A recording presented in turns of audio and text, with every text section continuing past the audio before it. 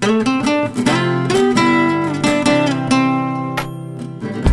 Nery Colmenares, Deputy Minority Leader ng Kongreso, kinatawan ng Bayan Muna Party List, leader ng Makabayan Bloc. Respetadong mambabata sa tabugado, matalino may puso, maprinsipyo, matapang.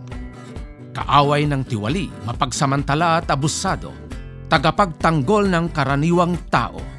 Dahil tulad nyo, si Nery ay karaniwang tao. Batang Negros, anak ng security guard at clerk si Nery. Makatao, makadiyos, lumaki sa simpleng pamumuhay.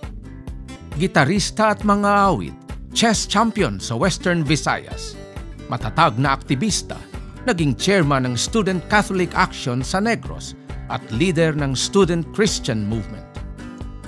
Labing walong taong gulang lamang nang arestuhin sa panahon ng martial law apat na taong ikinulong at tinorture si Neri sa salang pagdepensa sa karapatang pantao.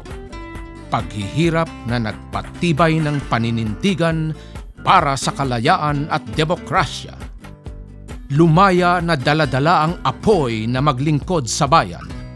Leader estudyante, graduate ng San Beda sa kursong Economics noong 1992 Nagtapos si Neri ng abugasya sa University of the Philippines noong 1996.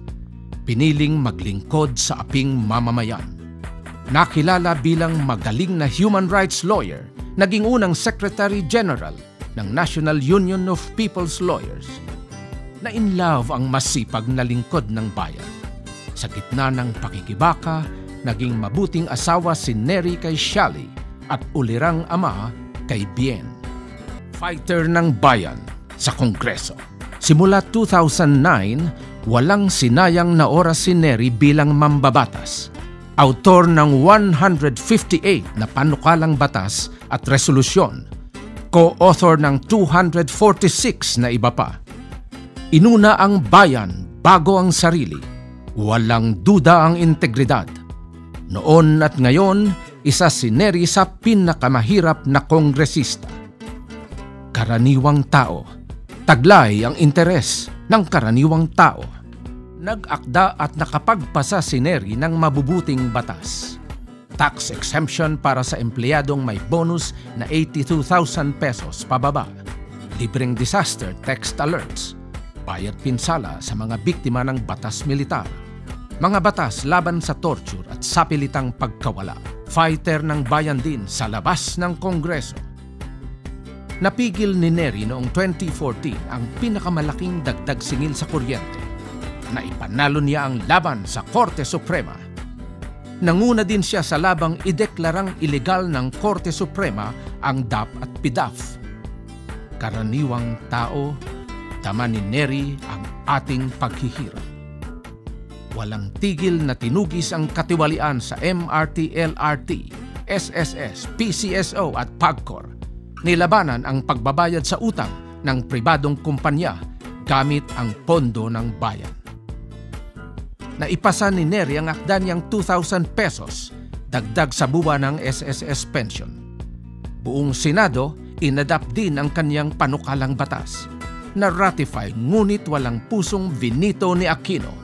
Ipinaglaban ng karaniwang tao hanggang sa pag-override ng veto isinulong ang 125 pesos dagdag sa arawang sahod, pagtaas ng sweldo ng mga guro, nurse at kawani sa gobyerno, pagbabawal sa kontraktualisasyon, pagbawas sa income tax at pagbaba ng singil sa tubig at kuryente.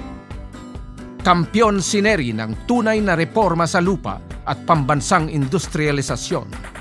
Itinataguyod ang kasarinlan laban sa dominasyon ng US at China Neri Colmenares. Tulad nyo, karaniwang tao. Maprinsipyo, matapang at matalino. Walang inuurungang laban kahit sino pa man ang tamaan. Fighter ng bayan, Neri Colmenares para sa karaniwang tao. Iboto sa Senado. Senador Enrico Menare.